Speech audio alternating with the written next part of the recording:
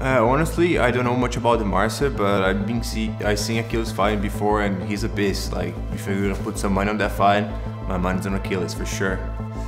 I know Demarce has a he's he's a veteran in the MMA. He's been around for a while, but uh, Achilles seems like he has a you know a bit large knockout rate.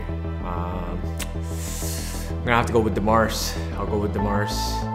I think that's going to be a banger of a fight. Um, again, two uh, really good fighters, um, but I think uh, Achilles wins via KO.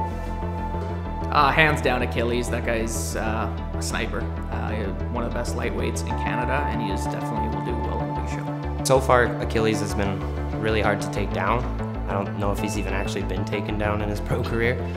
Um, and he does what he wants with guys on the feet, so I think it's safe to say that Achilles will probably pull this one out. Achilles is my teammate right now, so I'll training with him a lot, and uh, I don't think it any guys across Canada who can beat him. So I will take Achilles one.